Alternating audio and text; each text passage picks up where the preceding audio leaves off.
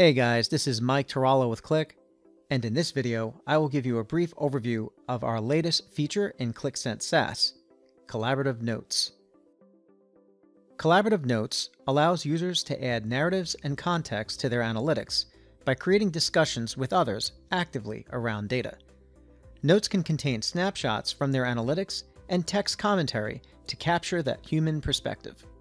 Users can tag and invite others to the discussion, creating a collaborative canvas for both real-time and offline communication. For a deeper dive on this new feature, check out our Qlik Help documentation and our companion videos on the Qlik Help YouTube channel. Let's take a look. Okay, so before I get started with a brief demo, it's important to understand when using notes how it can be used.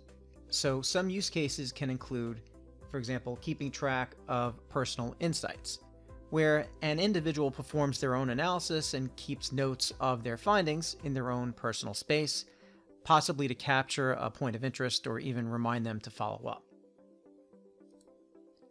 Now, another would be KPI monitoring, for example, something that I'm going to show you here, where team members can collaborate, capture their insights collectively, create this discussion and involve others, and work together to produce desired outcomes.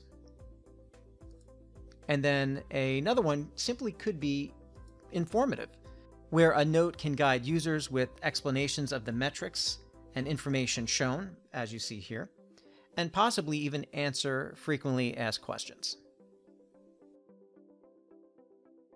Okay, so for this brief demonstration, I'm just going to focus on the second use case, which was monitoring some KPIs and bringing in team members to collaborate with me. So in this particular visualization, as I'm analyzing it, let's say this particular category piques my interest. I notice there is a significant value in this category when compared to the others, but also a lower number of products. So we have some high valued products in this particular category, and I want to bring in another team member to take a look at this with me. So I go over to my notes section on top. I choose the space that they're a part of. Now, if I wanted to create a personal note for myself that only I see, I would choose personal. But in this case here, we're collaborating with other members who are part of the space, so we choose that space. And then we create a new note, and we give that note a title, and then we can start putting in our note. But at the same time, I can right click on the visualization and select Add Snapshot to Note. And what this will do is now put a point in time view of that visualization directly within that note. Now I could also put in some text or commentary. And at the same time, I could insert a tag or a mention. I can do that here, or I can just type the at symbol and then select the individual.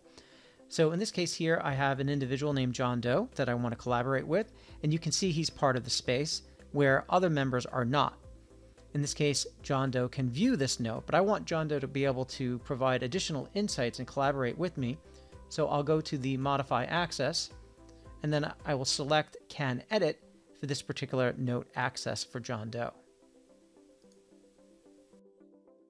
Okay, so let's switch over to the user John Doe. So now I have a screen here, and we can see that John Doe, who also has access to this space, has been notified, and this notification can be received via the web or via email. In this case here, we can see Michael Tarallo mentioned you in a note, and you have been invited to collaborate on collection distribution significant value.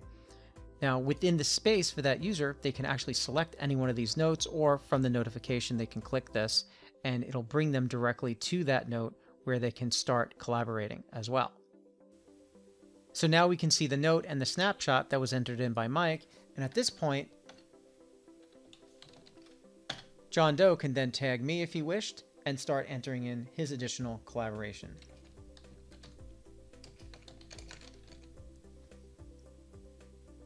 Now, if this was something that was captured in real time, what I'm going to do is just do a, a split screen here.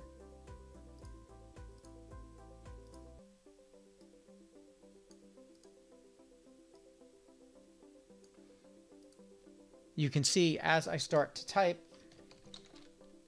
additional information in real time is being displayed on Mike's screen. So these are two separate sessions. One's logged in as John Doe. The other one is logged in as Mike Tarallo. So you can see the individuals not only can collaborate offline but they can also collaborate online in real time. Okay, guys, that's all I have. Check out these other great resources to learn more about Qlik and Qlik Sense. And also be sure to join me twice a month on my webinar series, Do More with Qlik, where this week we are covering Data Hybrid Delivery, a Qlik Cloud data service. Hope to see you there. I'll see you on the next video. Take care.